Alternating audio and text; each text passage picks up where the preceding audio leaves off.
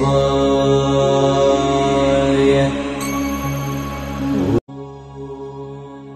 नमः शिवाय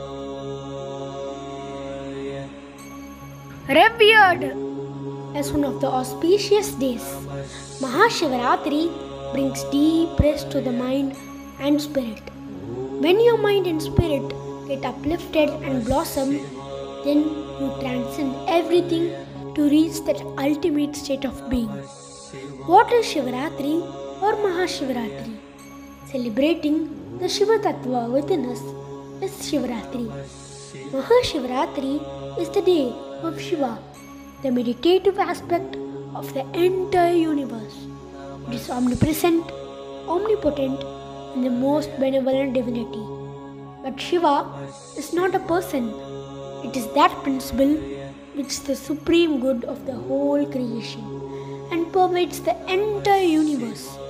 This principle is called Shiva Tattva. It is the quintessence of life and is present deep with every living being. Mahashivaratri is to remind us to take refuge in Shiva, the peace, infinity, beauty, and the non dual one. You take refuge in Shiva because your true nature is Shiva. Celebrating the Shiva Tattva in oneself is the essence of Mahashivratri. We celebrate the Shiva Tattva by going deep within us, meditating and rejoicing the divine energy. Mahashivratri is not just the time for the rest of the body, but also the mind and ego. The tradition is to stay awake.